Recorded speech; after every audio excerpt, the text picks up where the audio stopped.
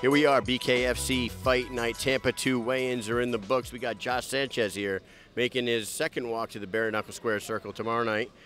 Welcome back. Uh, you fought back in May in Orlando. Didn't go the way you planned. I'm assuming you made some adjustments. This is going to be your second walk in there. Um, how are you feeling heading into the second go-round? Great. Feeling awesome. Had a good camp. Worked hard, pushed myself. Definitely changed some stuff up. Changed the game plan a lot for this one. Did you learn anything after training for that first one, and then not it not going the way you you wanted it to go?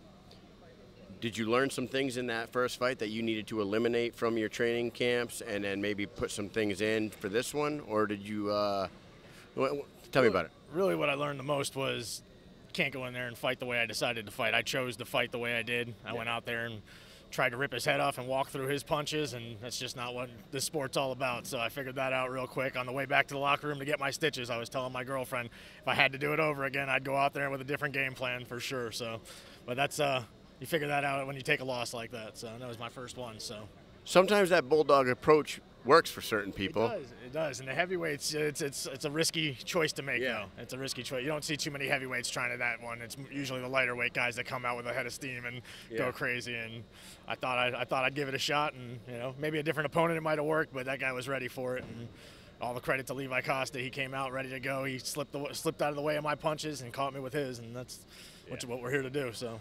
Now, your opponent tonight, we saw you guys up on the stage tonight. Paul Shough, is it, how do you say his last name?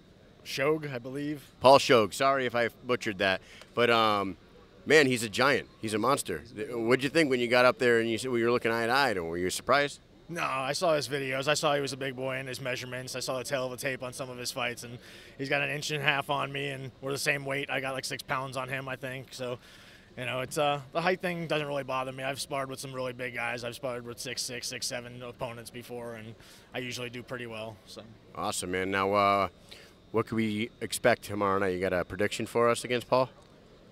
No prediction. Just gonna go out there, try to fight smart, and as smart as I can. Stick to the game plan. You know, get get a you know a, a win in round one, a win in round two, a win in round three. Make them each each one's its own little individual fight for the night. Get through all five rounds, and if I put them asleep before then, I put them asleep before then one round at a time.